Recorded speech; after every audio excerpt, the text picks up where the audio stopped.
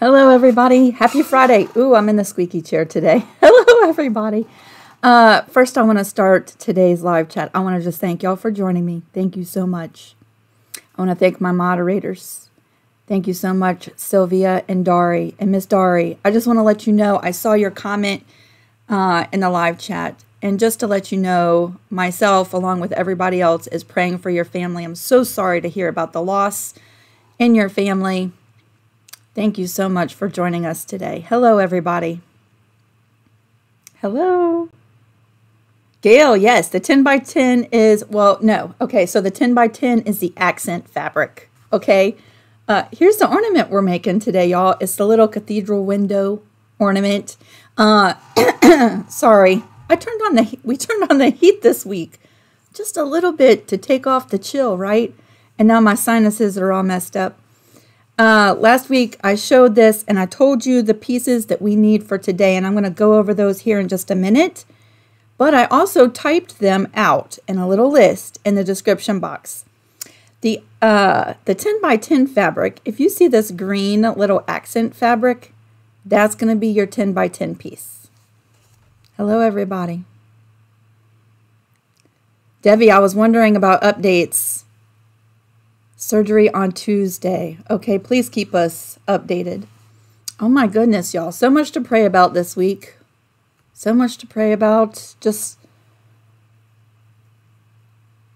raising y'all up, everybody. So today, uh, there is no printable pattern, but I'm going to go over the things that you need to make this ornament.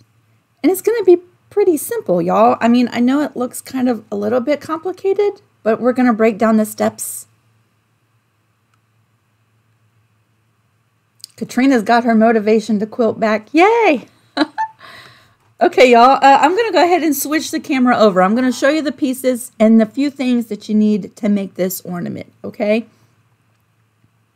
Cutting mat. Here we go. So here's the little ornament. you know what I forgot? I forgot to get some ribbon for my hanger. oh no. Oh no, I didn't. Here. Here's some. It's the thick stuff that I don't want to use, but here we go. All the stuff you have to get ready for the live. So let's go over the fabric pieces, y'all. All right, you need two five by five inch pieces, right? One's gonna be the back of your ornament. And one is going to be right where you see the red. That's going to be your other 5 by 5 inch piece. You need a 4.5 by 4.5 inch square. And that's going to go where you see the blue. All right. And then your 10 by 10, that's going to be this little green popping up, the little accent on the front. Okay. Uh, y'all, I'm going to be using a glue stick today. You don't have to. You could grab some pins. Uh, you'll need a button. I have a couple different colors because I'm undecided which color to use at this point. I have a handful of polyfill. This is what we're going to stuff our little ornament with. Uh, you're going to need a needle with an eye that's big enough for some thicker thread. And today I'm going to be using some of my Nana's DMC thread. I have not yet chosen the color, so I just brought one of her little containers over here, and we'll choose the color when we get to that part. Diana said, I have two four and a half by four and a half. Did I type it wrong? Maybe I typed it wrong. You need two five by fives one four and a half by four and a half.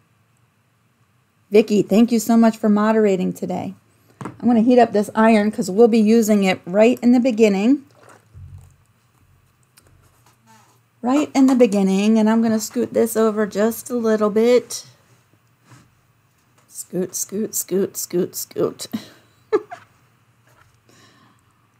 Actually, let's put him here so that we can reference where these pieces are going to go. Okay, Diana said, no, my mistake. Okay, just making sure that I've typed out the pieces correctly. Because I make mistakes all the time, y'all. It might have been something I needed to go change. To begin this ornament, y'all, we're going to start with this 10 by 10 inch piece. Okay, so grab that. Get your iron warming up. Y'all, this ornament is so pretty. I did not make up this pattern. There's a couple videos out on YouTube on this. I happened to come across Stitch with Rick's YouTube channel while I was searching how to make a cathedral quilt, cathedral window quilt, and got totally sidetracked by his video one day and ended up making this ornament. And I was like, you know what? We should make this. Celeste, I am so, so sorry. We will be praying for you as well. Y'all, there is lots of prayer requests this week. Wow. I just want to thank you for hanging out. I'm hoping that this video uh, brings a little bit of joy to your day. You're in good company. All right. I think my iron is warming up some. She's been asleep for about three hours. We're going to start with this first piece. And we're going to fold it in half. I'm going to move this over. There we go. We're going to fold it in half, but we're going to fold it in half so that the pretty side is facing out, right? We're going to fold it in half one time. And we're going to press it just to get that center line. And then we're going to fold it in half one more time.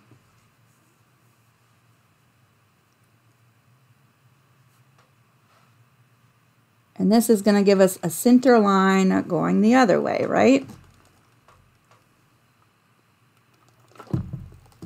So that's going to give us two creases going across our block.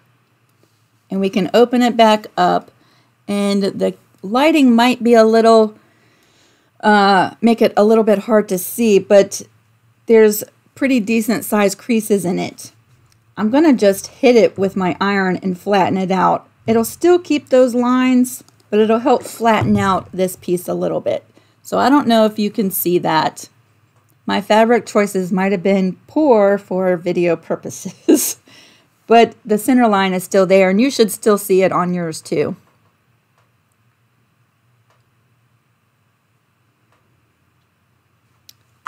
I have to look at my notes.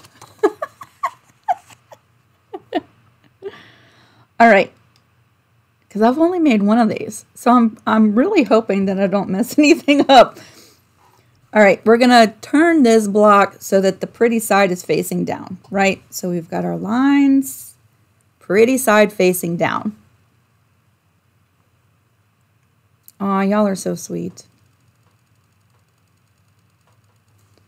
This is where I'm going to start using my glue stick, y'all. And you don't have to do this, but it just helps me keep everything together. Okay? Uh, I'm going to put a little dot of glue towards the center. And We're going to start bringing these corners and we're going to bring them right into those pressed crease lines like that. So we're pressing. We're bringing in the next corner.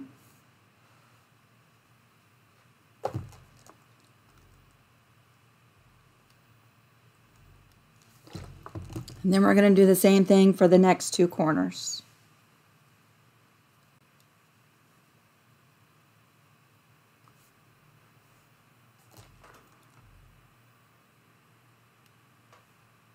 Hello, everybody.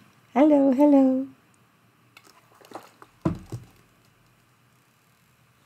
So we have one more corner to bring in. And we're pressing that.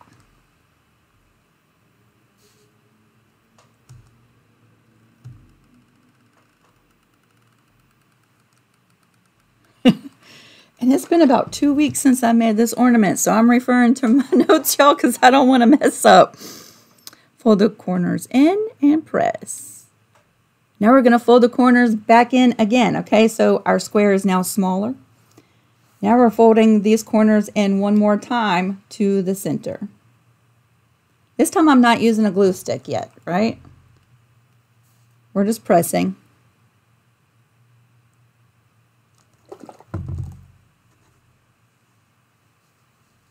That little bit of touch of glue just helps keep those pieces from shifting around and I get neater results, but you certainly don't have to do that.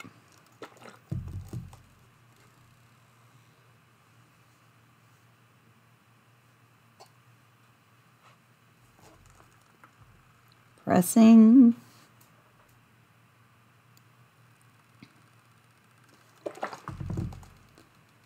And flipping around and pressing one more time.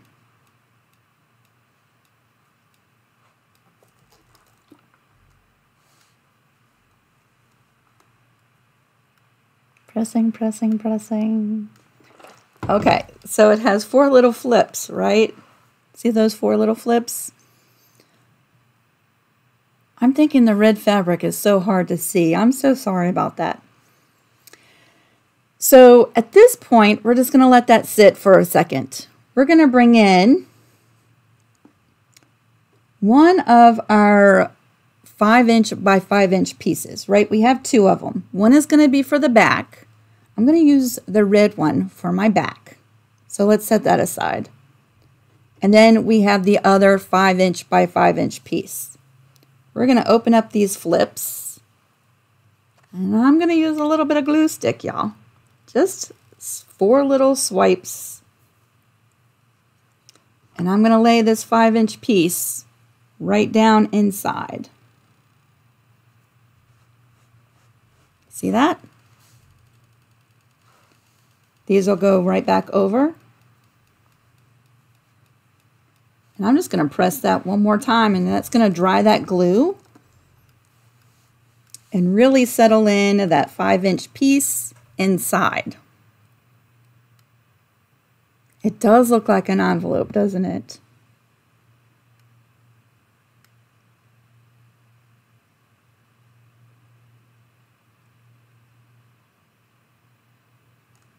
Vicki has a question about her quilt, y'all. She has a uh, cotton quilt top, and she got a polyester sheet for the backing. Can she use it? Vicki, I've used all kinds of stuff for my quilt backs. I don't know if I'm the person you want to listen to. I've used microfiber snuggly flat sheets for my quilt backs before. And let me just tell you, I made a throw for Harlan a few years ago. It was like four years ago. We're going to let that cool off. And I put a microfiber flat sheet on the back of his quilt. And to this day, it's his favorite quilt to sit and watch TV with. And let me just tell you, if you're going to press your quilt, like if you're putting on a binding and you need to press those edges, you need to lower the temp on your iron because polyester is heat sensitive. And if you're making a quilt for a baby, you probably don't want to use a polyester backing, right? But uh, you can certainly use it for yourself and for bed quilts and things like that. And keep in mind that some polyester sheets will pill after so long, right? So many uses, so many washings. Sometimes polyester sheets do have a tendency to get those little pilling bumps on them. So just keep that in mind. If it's for a baby quilt, I would not use a polyester sheet. I would find a cotton one. All right, that should be nice and cooled off. We have our little five inch piece tucked in there, right? And now we're gonna bring this over to the sewing machine. Now you can tack down these little, these little corners by hand if you want to. By all means, if you like to hand sew, you can certainly do it by hand. You would just hand tack these little four corners right to the center. I'm going to do it by machine and I'm going to show you a quick way to do it. Okay, I'm going to bring you over to the sewing machine now. And we're going to set up a straight stitch on the machine. All right, so I have the straight stitch on. I'm going to increase the length to a 5.0. That's going to give us a nice long little stitch, right? This is what I'm doing for my cathedral window blocks for the quilt I'm making. I'm not stitching these down by hand. All right, so straight stitch 5.0 is the length, and we're gonna lower that needle right in the center. Where all these four corners come together, just gonna lower the needle right down in there. And I'm using an open toe foot so that hopefully you can see a little bit easier. And here's what we're gonna do, y'all. We're going to take one stitch forward, stop. Now I'm going to take two stitches back. And when I do, it's going to land in this uh, upper corner, right? I'm going to take two stitches forward. It's going to come back down into this one. And now I'm going to take one stitch back to the center. And we're stopping. I'm going to lift up that presser foot. I can trim away this little thread tail. And now we're going to tack down the opposite ones, right? We're going into the first. We're going to back stitch twice. We're going to come back down into this one. One, two, and we're going back to the center. That's how I'm stitching down all of my corners for my quilt. So much faster than hand sewing. Let me trim this little thread tail.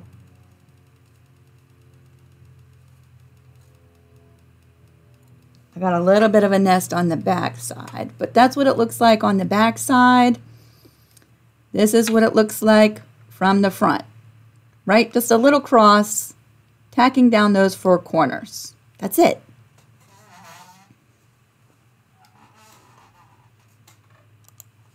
I need to oil this chair.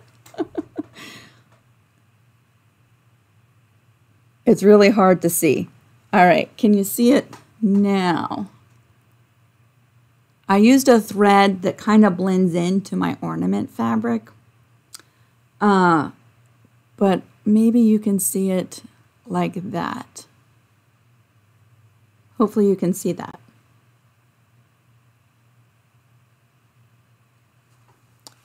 All right, so because we have folded this fabric on the bias, it's going to stretch a little bit, right? And so the next thing we're going to do is we're going to fold back those edges.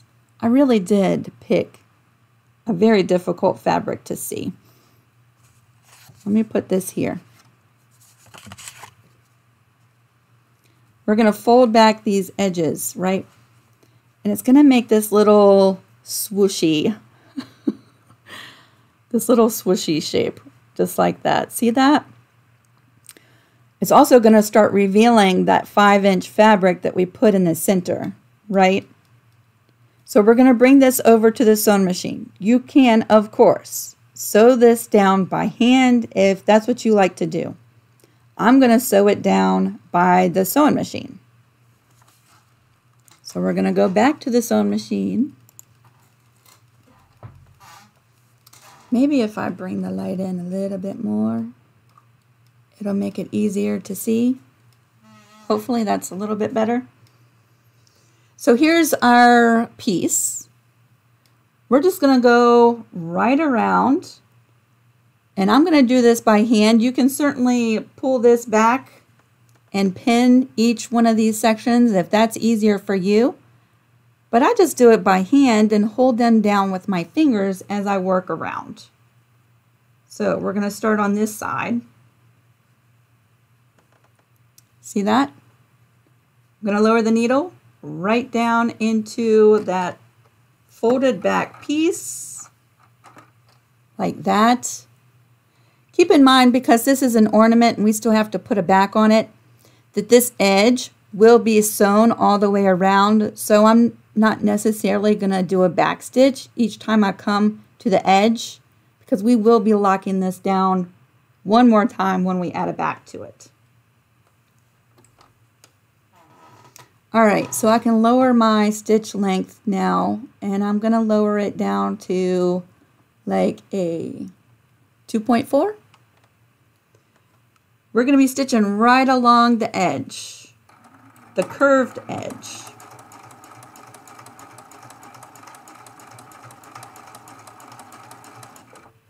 And as we start approaching the center, I'm going to go ahead and fold back the next piece like that.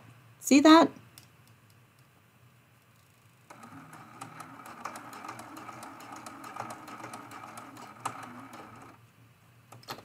Then we're going to rotate it. And now we're coming back around on the other side.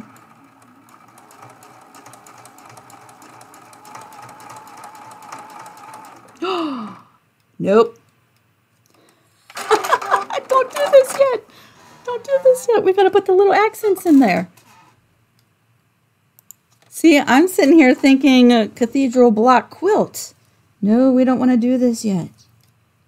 Hold up. Let me pick these out, y'all. I'm glad I remembered that before we got too far, too far along.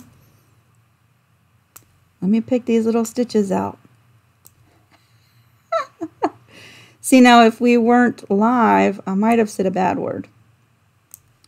But I'm trying to hold it back. Trying to hold it back. Let me just unfold those. Because I got way ahead of myself and picked those little threads out.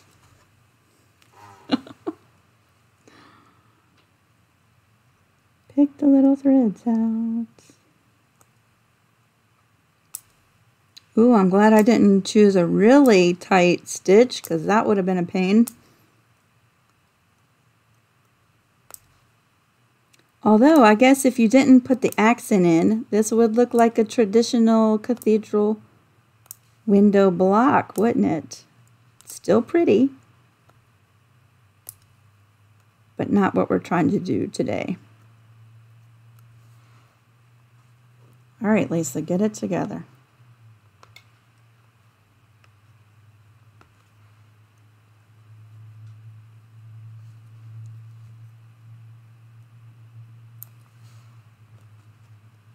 All right, nothing that can't be undone. and pick all these little threads out. There we go. See, we're back to where we started. Okay, before I get ahead of myself again, we're bringing in the accent fabric, the four and a half by four and a half. okay, this fabric we're going to cut two times, right? We're going to cut it in half on the diagonal. Oh, I'm so glad I remembered this. We're going to cut it right in half. And then we're going to cut it in half the other way.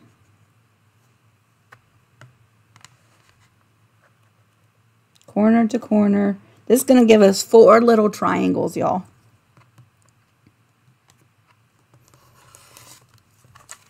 All right, Lisa. There we go. There's the four little triangles. Are you sewing close to the folded down edge or does it matter? So when I'm sewing, let's fold this back. I really should have picked a different fabric.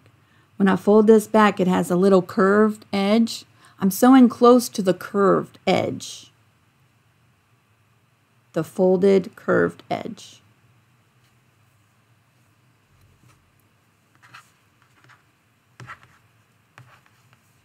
All right.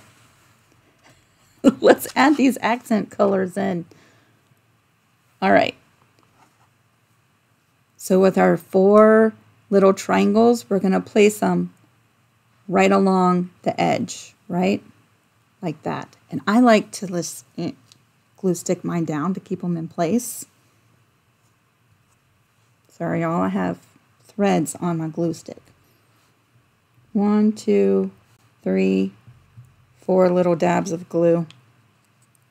You could pin it. So we're just lining up that straight edge right there. And these triangles are going to fit right in there just like what you see here.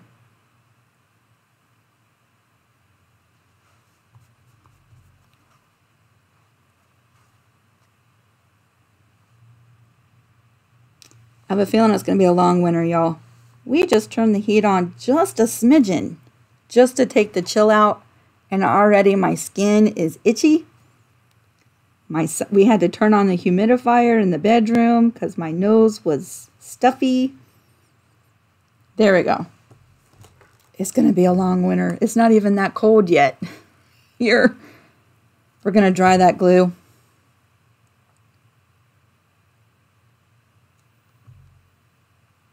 Now we can start sewing down these edges. Beverly said, I do not know what I did before glue sticks. Me too. Me too, Miss Beverly. We're going to let that cool off just for a second.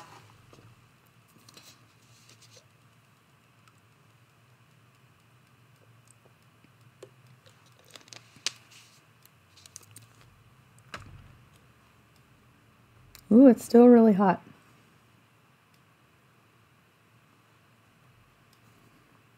So glad I remembered that. All right, so here's what we're doing, and I'm hoping that uh, you'll be able to see this. Now that the blue's in there, you might be able to see it more. So we're going to fold this folded edge right over like that. You could put some pins in there to help hold it down. You could even use a little bit of glue if you wanted to, right? But we are going to come in and I'm trying to sew along this curved edge. Not the straighter of the edges, but along this curved edge.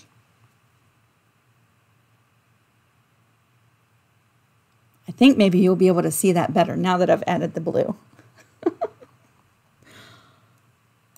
All right, we're coming back to the sewing machine, y'all. And again, we're I'm just folding that over.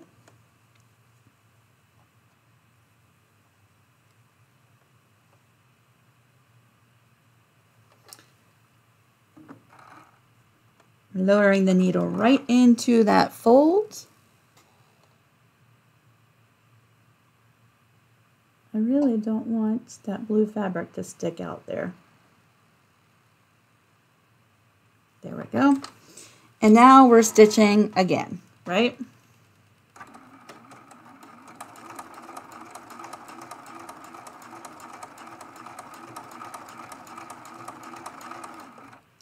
As I start to approach to center, I like to go ahead and fold over the next one. And my fingers might get in the way, but I'm just holding it down with my fingers.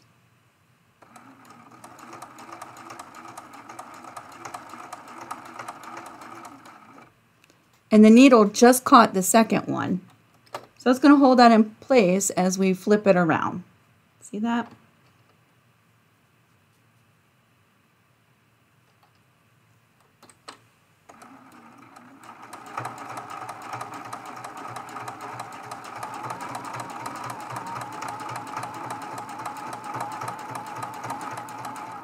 We're sewing right to the edge. So I'm just going to take that off so that you can see that first little triangle that we did.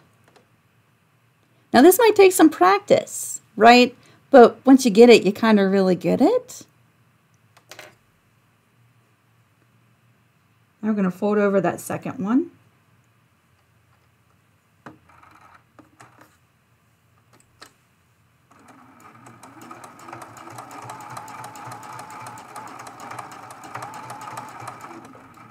About halfway through, I go ahead and lift up the next curved edge and fold that over.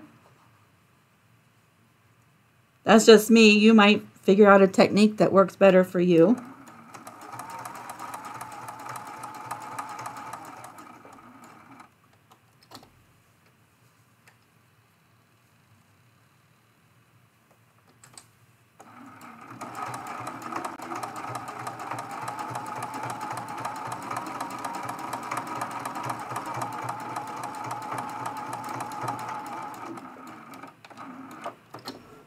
I like to just go ahead and take it right off the machine and start folding over the next one. You might be able to just flip that and keep on sewing continuously.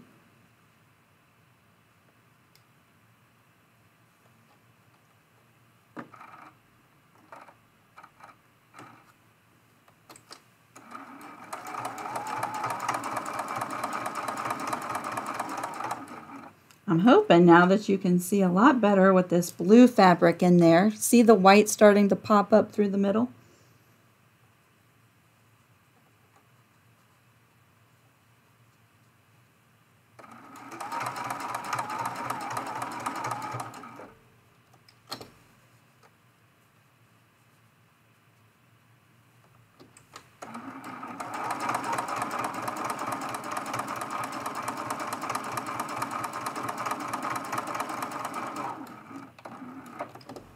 And we have one more little triangle to do.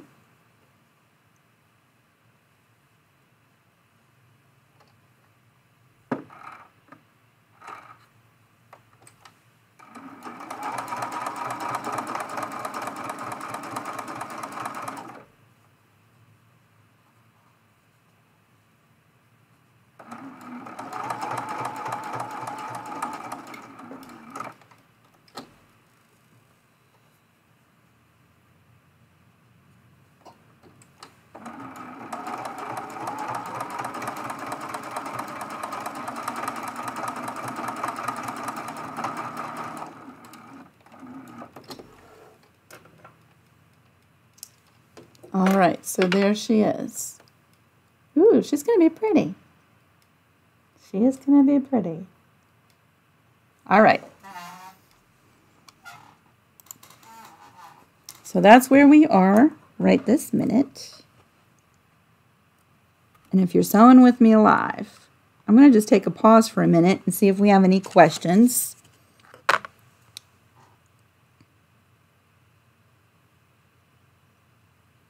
What presser foot are you using? Yeah, that's an open toe foot. Thank you, Miss Sylvia.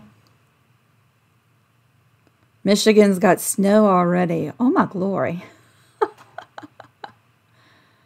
yeah, the blue really helped give a little pop to the red, didn't it?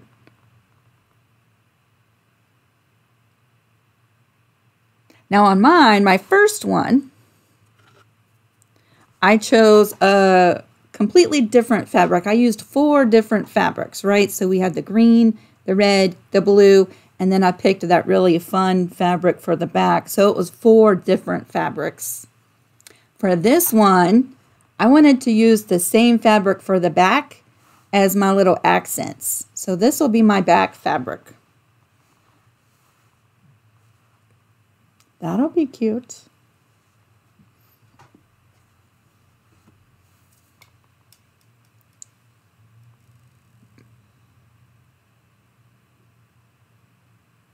All right, so at this point, we're ready to go ahead and put in our little hanger, right? Is this thinner than this one? It is. This first uh, ornament that I made, I used a little bit of a thicker ribbon. And I don't know if you can see that. It was a little awkward to get it right in the corner, and so it sewed into part of the side. So if you have a thinner ribbon, or maybe even a yarn or something, uh, the thinner the ribbon, I think the easier time you're going to have with the little hanger. So this one is a little bit thinner. You need about 8 inches or so. Of course, you can change the size of your hanger if you like. So I just cut off a piece of ribbon. I'll tell you what I'm going to do. I am going to just put a smidgen of glue stick there. And I'm going to hold that in place just like that for a second. We're just going to let that grab and dry for just a second. Again, you don't have to do this. This just helps me keep my ribbon as neat and pretty as possible. Kind of just lining it up like that.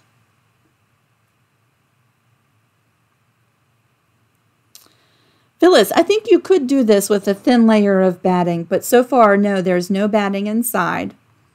We're going to sew on a backing and then stuff this with polyfill here in just a second.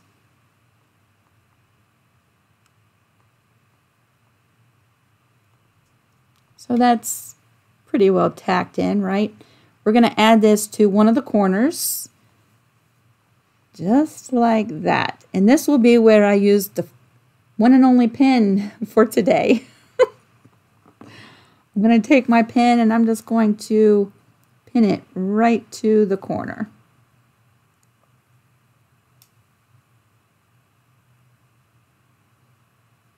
Just like that. See that? Then we're going to bring in our backing fabric and we're going to put this pretty side down. Just like that. And we're going to sew all the way around, but make sure to leave an opening. And you might want to leave your opening a little bit bigger because we have, you know, some fabric to stuff through that opening. So uh, like a good two, two and a half inches. And we're going to make sure to backstitch at the beginning and the end. We're going to sew all the way around and I like to use like a quarter inch seam allowance. That seems to work pretty well for me. I'm going to go back to the sewing machine. You can uh, pin these pieces in place if that is helpful for you. I'm just going to hold them there. Live dangerously.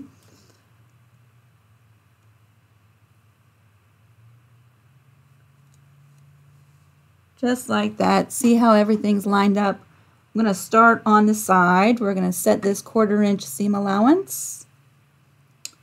With my open toe foot, I have to scoot over just a little bit. There we go. And I'm going to start down here like that. We're going to take a couple stitches and we're going to back stitch that's going to lock that opening in place. I like to sew right off the edge. You can sew and pivot if you like.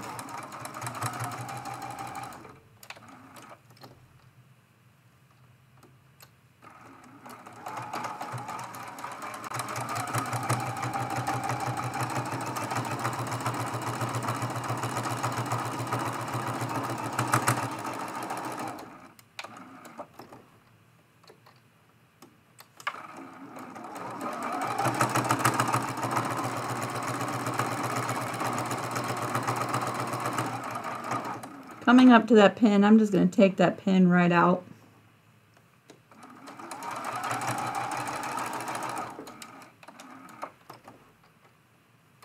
Coming along the third side,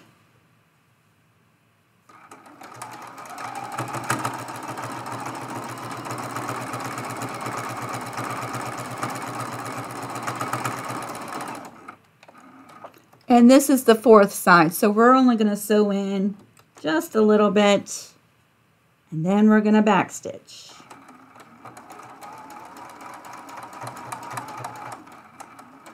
I like to leave a little bit of a bigger opening.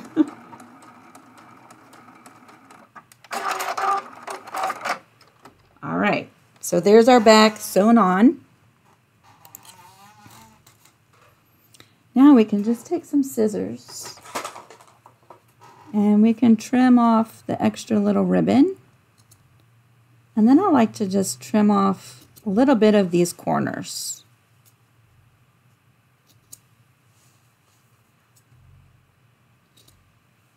See that?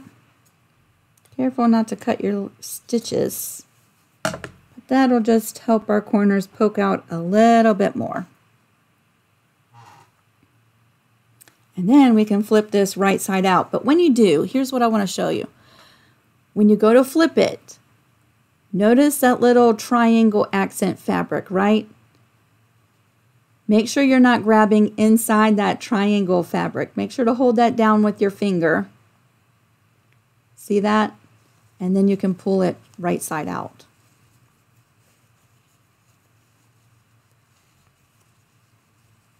At this point, we're almost done.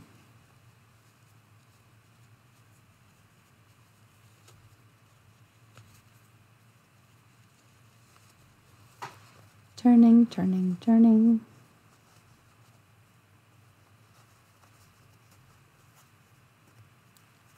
Go in and poke those corners out.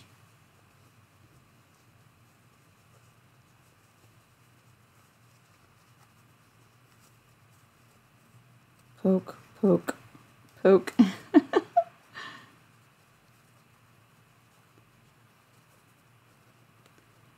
You know what would be really cute is if instead of putting the ribbon inside, you leave the ribbon out and you make this a pin cushion. Wouldn't that be pretty? We did a whole pin cushion series. I think this would make an awesome pin cushion.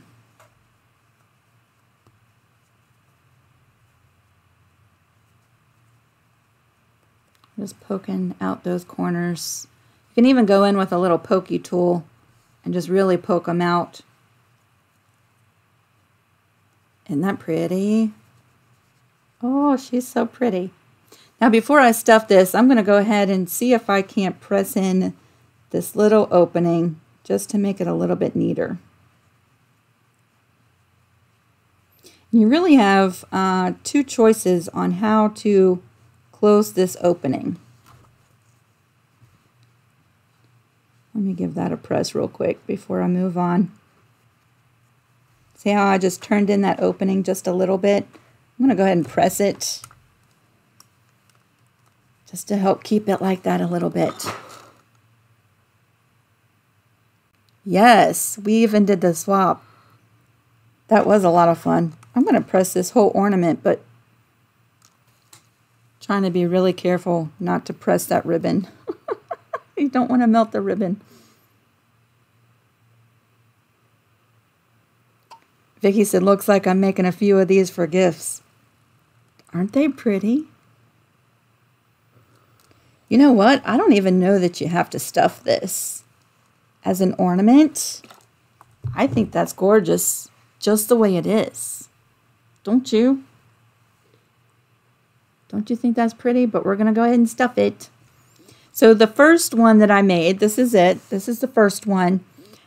I stuffed it and then brought it over to the sewing machine and I did a straight stitch all the way around the edge. So it made this one uh, look a little bit different than the way this one is going to look, right? Because it flattened down the edges. Sort of like a hot pocket, right? So that's a really quick way, especially if you don't like to hand sew, a really quick way. Put your stuffing in, but not too much, and then bring it over to the sewing machine and sew all the way around the edge. Little straight stitch. I'm going to torture y'all a little bit and I'm going to hand sew this one closed so that you can see, you know, if you're going to make these and you're like wondering what does it look like not sewn by machine, you can see the two different ways that it's going to finish. so I'm going to go ahead and put a little bit of polyfill in here. And I'm pushing my polyfill towards the four corners because we still have uh, a button to add right in the center. But we're not doing that yet.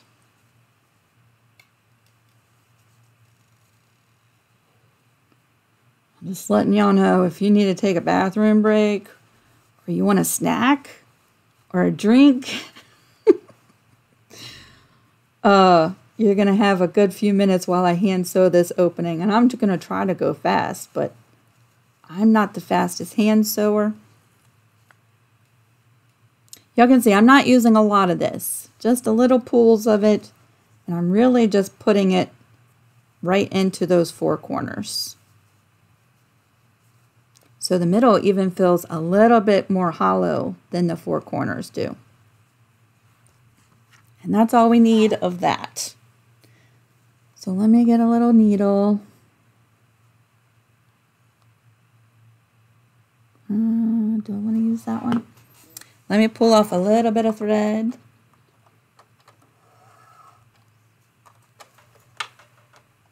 I'm going to try to do a quick little whip stitch just to close this opening.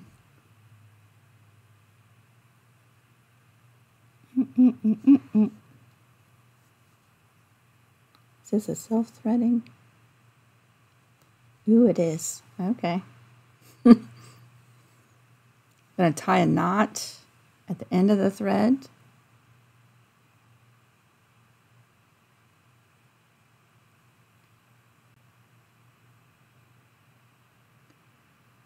Charlie said, hand stitching while watching TV works. Yes, it does. All right, so I have the little knot at the end of my thread. I know you can't see that. I'm just going to try to do a quick little whip stitch.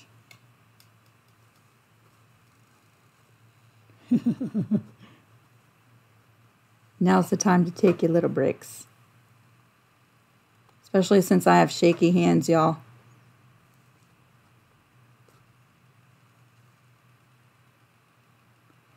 All right, quick whip stitch.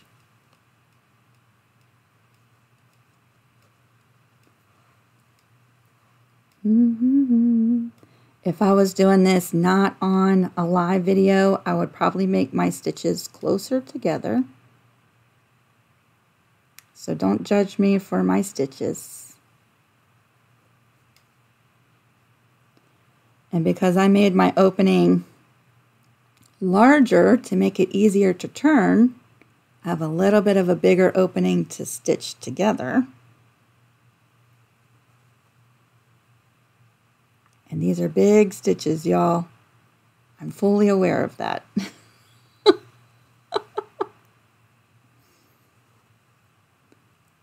I know.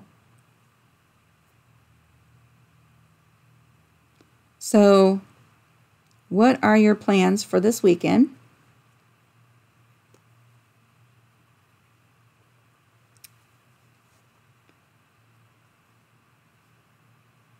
What projects are you trying to finish up or have you just got started with? Ooh, if you're on Patreon, don't forget, uh, I've already uploaded the uh, Cathedral block Window Quilt. You could make some mug rugs if you want this weekend.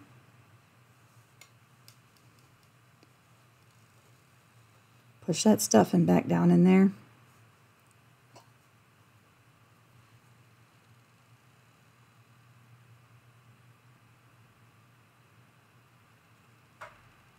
Ouchie.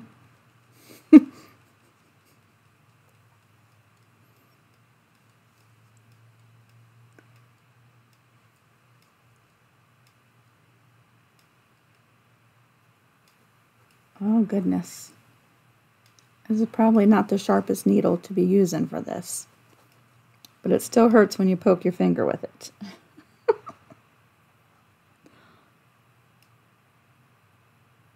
You know what I probably should have done? I probably, if I would have thought this through a little bit more, I probably should have hand stitched the first one and then did the one during the live by the machine. Sometimes I don't think that far ahead. All right, so there's my little whip stitch. And I'm just going to pull it. Hopefully my thread don't break.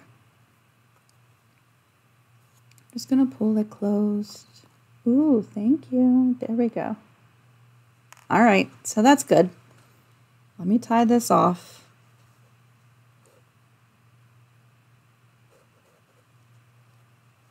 That didn't take that long. That was faster than I thought it was going to be. All right, so we're just going to tie off this little thread.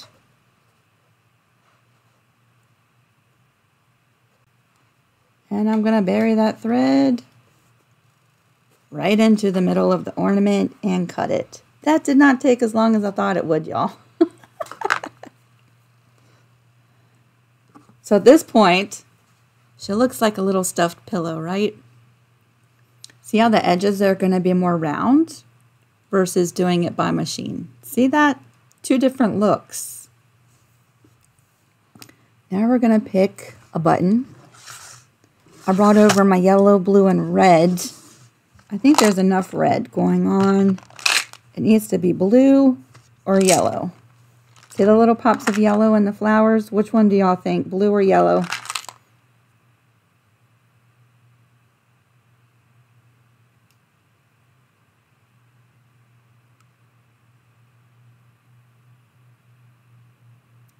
Dun, dun, dun, oh, I think I kind of like the yellow. Oh, y'all say yellow too. We got a couple blues. Aww. Blue, blue, blue, yellow, yellow. All right, I'm gonna go with yellow, y'all. I think, I don't know that you could go wrong with either. But I'm gonna pick a yellow one. Oh, I'll get that later. uh, big or little, big or little. Oh, I like the little one. All right, so there we go.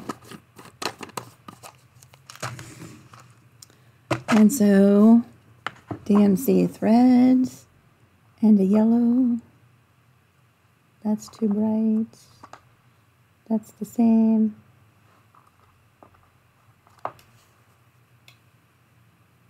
That works. Let me try this one. I'm having a hard time committing today. There we go. Y'all, I have five of these containers from my Nana. They're all numbered and everything. We're going to use some of this really light yellow.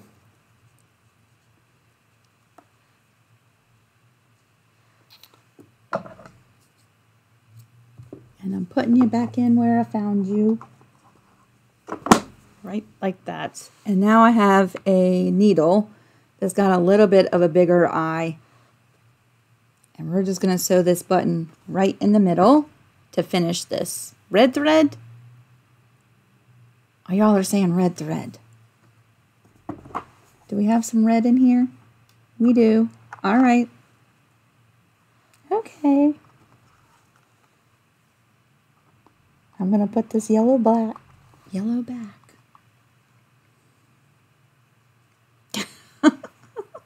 I'm not wasting none of my Nana's thread. She would be so proud. It still looks so organized. All right, what do we got here? Looks like she's used some of this before.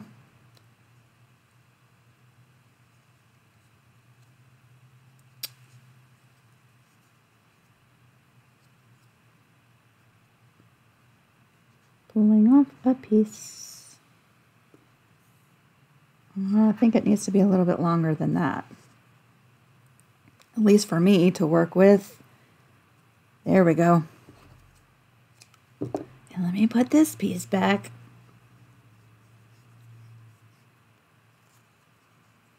Ooh, there just goes the mailman. I'm hoping he picked up my box because I have a quilt going back. I've had so much fun this past week doing some quilting. And have a couple more quilts on their way to me, so that's what I'm doing next week.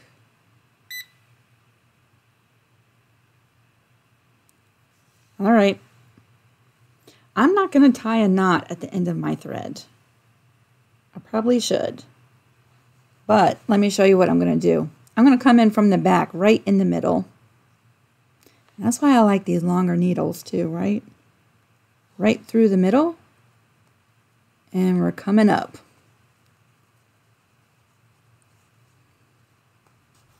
I'm going to leave a little bit of a thread tail. See why I like my thread longer? and before we add the button, I'm going right back down, but not in the same hole, just a little space over. And close to that thread tail. And we're going to pre-bunch this little puffy pillow.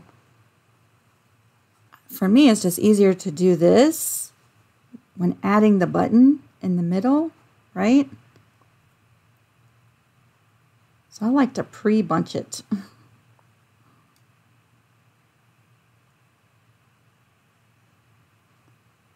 Pre-bunched. There we go.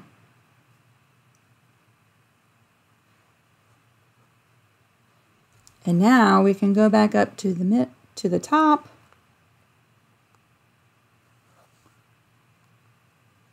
And we can add the button. Of course, I picked a button that has four holes. So it's going to take a second.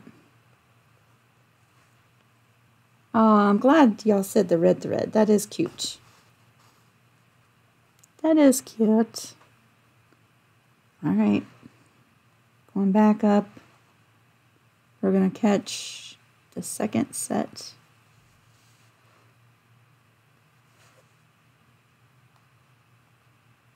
I always have a hard time finding the next set of holes. There we go.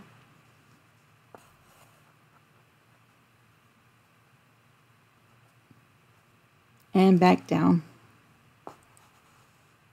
Aw, I'm glad y'all said the red thread. That is super cute. That's so cute. All right, so now we have this thread tail again. I'm going to tie it in a knot. That's going to lock in that button. But to make the back nice and neat, I'm going to bury the first thread tail. I'm just going in right close to where those threads are knotted. We're going to bury that thread tail.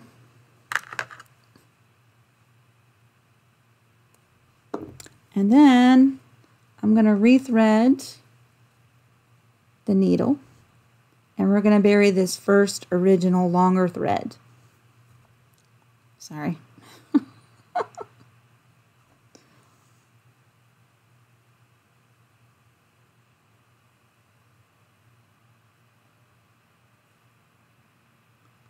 There we go. Again, going right in. And we're going to bury that thread tail. It's going to give us a nice clean little knot right in the center, but no loose little hanging threads. I know that's hard to see. Pretty, right? Now, I probably could have added more stuffing than what I did. I guess you could make yours really, really poofy. Look, I have a little empty space there. I'll try to squishy some of this stuffing around. I probably could have used more. So let's take a look at the two ornaments because it definitely has two different looks. See that? I think both of them are cute. So I think either way that you finish them, they're still pretty, right? Hey, isn't that so cute? Look, the thinner ribbon is gives you a much neater little hanger versus the thicker ribbon. See that? I think this will hang nice and straight on the tree versus this one's going to want to do a little half turn on the tree. right? Are you using embroidery thread? Yes, this is uh, DMC thread, the embroidery thread, to sew on my button.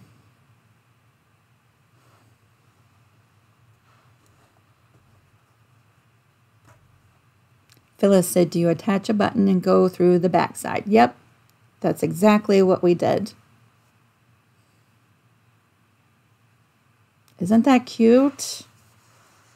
I really kind of like that I used the same fabric as the accents for my back on this one. See that?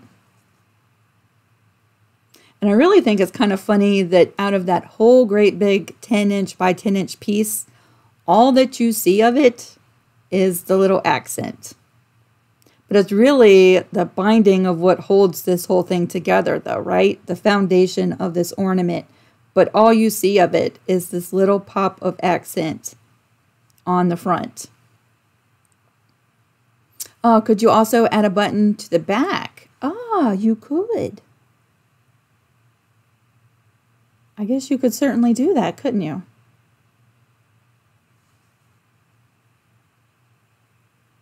Yeah, it's really cute, right? So, yeah, I just had to share that with y'all because, like I said, uh, I came across a video tutorial, Stitch with Rick. That was the video that I watched. And I got totally sidetracked one day and I ended up making this one. I was like, yeah, that was so much fun. We're going to make that.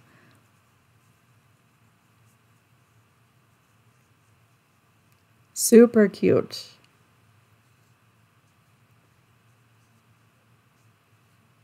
You know what I think you could do even is instead of using polyfill, you could leave it unstuffed or before you put the backing on and before you flip these edges over, layer a piece of batting. And then it would kind of look quilted, right? And then do your backing.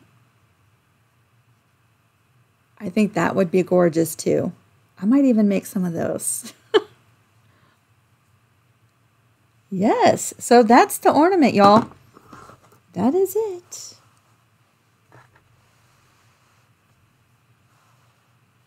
That is so pretty. Yeah, so my live videos usually take about an hour and then we chit chat at the end. So an hour, 20 minutes, an hour and a half, right? But I really kind of slow down the process and we do some chit chatting here and there throughout making our projects, right? I really don't think this ornament takes you an hour to make it. It doesn't. Especially after you make the first or second one, you start breezing through them. Just like with the cathedral window quilt blocks, uh, I think you get faster and faster. So I think y'all could make several of these ornaments pretty quickly, like in an afternoon. So if you have, uh, you know, a gift exchange coming up or Christmas gift ideas, uh, these make really nice ornaments. And you know what? They kind of look way harder than what they actually are. Especially after you do a couple of them, they really look a lot harder. And people are like, whoa, how did she do that? Right? I love those kind of projects.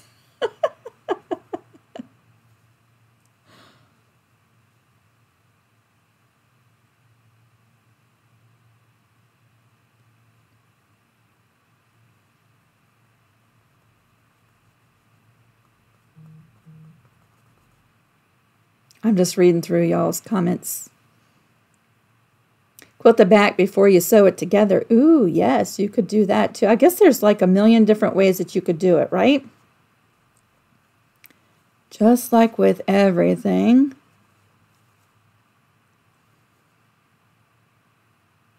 Terry said, I'm using it as a pin cushion. Yes, I think that would be such an adorable pin cushion. I really do. I think I should have used more stuffing because my sides are a little weak.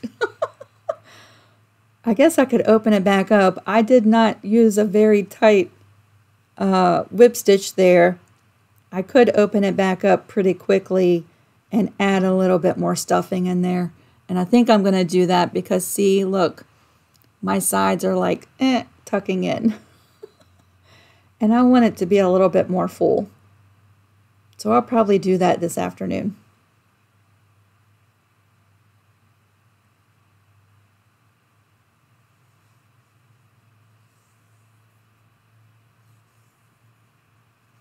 Oh, Tracy just got here. Yeah, you'll have to come back to the beginning.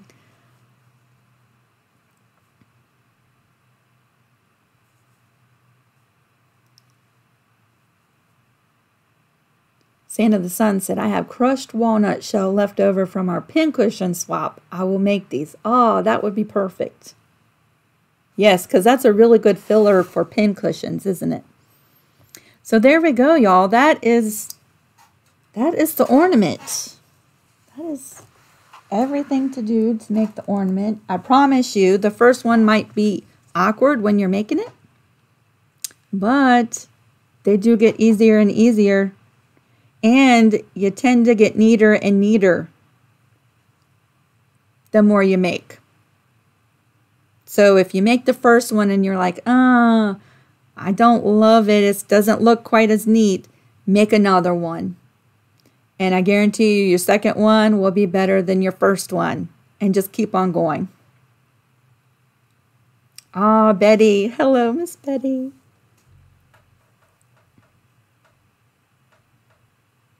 Thank you so much.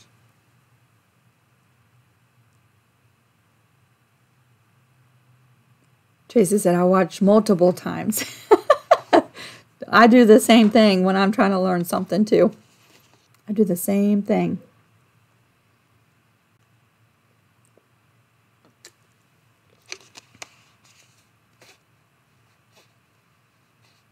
All right, y'all.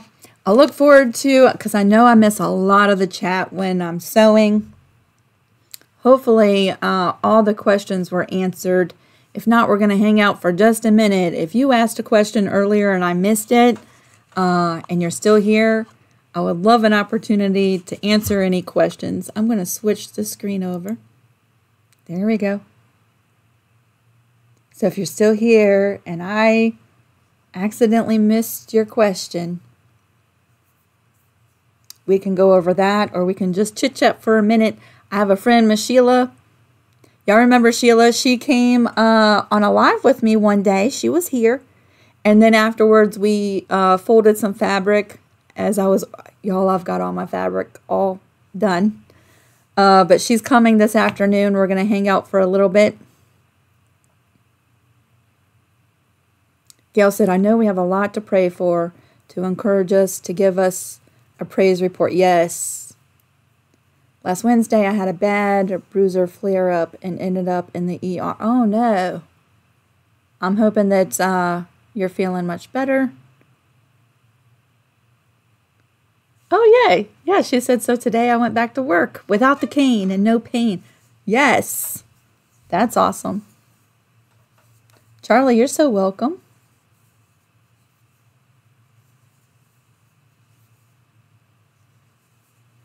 If making these into a pin cushion, what stuffing is recommended? I only have polyfill. Well, certainly, Terry, you could you could use just polyfill. Uh, but your pin cushion is going to be really light, right? This is super light. And sometimes with a light pin cushion, when you pick up the pin, your pin cushion comes up, right? so you can weigh it down. Uh, now, sometimes I throw some rice in there. And not everybody likes to use rice because, oh, you know, it could attract bugs and whatnot. I like throwing rice in my pin cushions. But a lot of people use the crushed walnut shells too. And that actually has the benefit of sharpening your pins as you're using the pin cushion, right? But um, you could throw some steel wool in there. But I do think just polyfill makes your pin cushion a little light, which is okay you just might want to hold it down with your fingers when you're pulling out the pins, right? Because if not, it's a little light. Lisa, you caught me a lot. How are you doing, Lisa?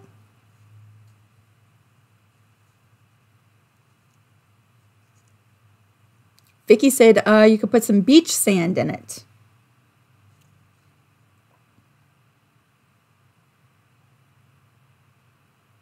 Yeah, Diana, post your pictures on Creative Crew. I would love to see it.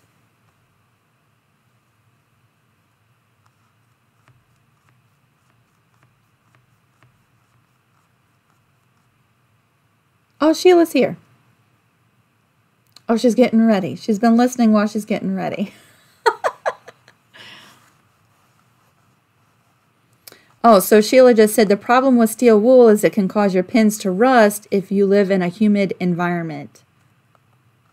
Yeah, that's probably pretty smart thinking. I hadn't thought about that. So maybe if you live in a drier climate, the steel wool would be okay.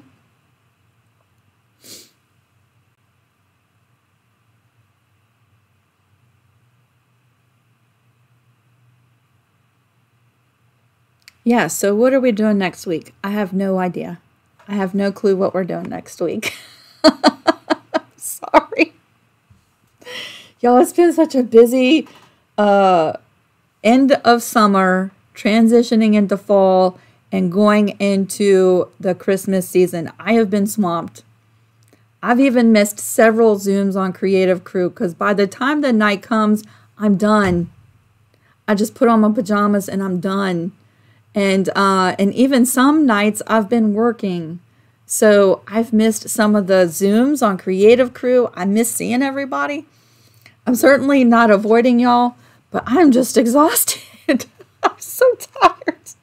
At night, I'm just uh, Done.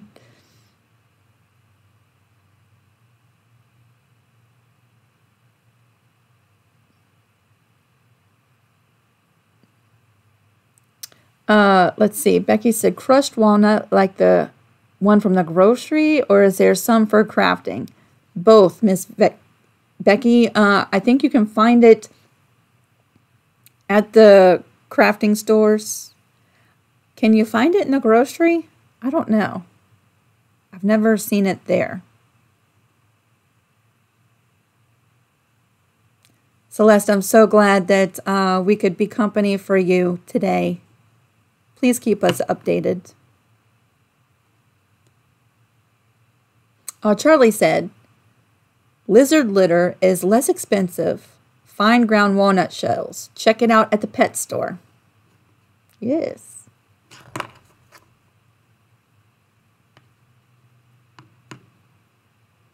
Oh, yeah. So Dari and Devi both said the same thing. Go to the pet store.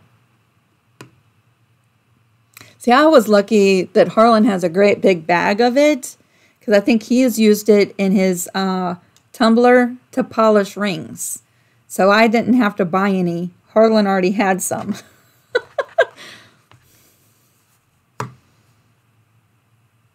Sharon, you're so welcome. I'm glad you love the ornament. I hope you make them. Y'all, uh, if you're members of Creative Crew, Everyone would love to see your ornaments if you make these, so make sure to share pictures. And it's a very safe place to share your stuff and ask for questions. And if you're not on the Facebooks, send me a picture on Etsy. I would love to see it.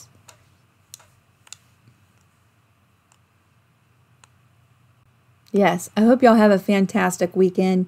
Uh, keep an eye out for a thumbnail towards the end of next week to see what we're doing uh, because I have no clue. It might just be a chatty Friday. We shall see. I have a few big projects I'm working on, and that seems to be taking up uh, a good majority of my working time and the time that I would be planning like next week's video. So uh, we'll see how the next few days go. I have a couple quilts on their way to me that will need to be quilted and sent back. So that's going to be uh, consuming some of my time as well. So we'll see what we're doing. It'll be a surprise.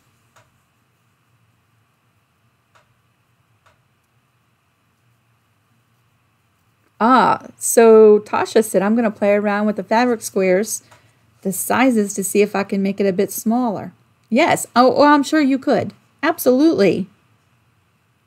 Just start with a smaller uh, foundation fabric. So instead of 10 inch by 10 inch, reduce that.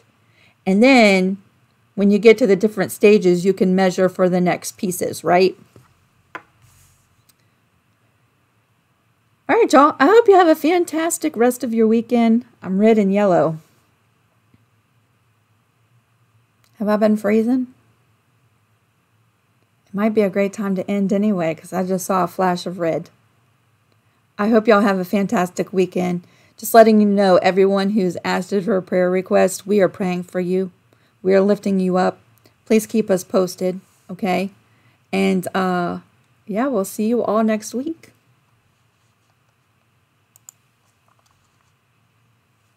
Bye, everybody. Ooh, Terry just posted to Facebook. Awesome. I'm going to go check it out, Terry. See y'all later.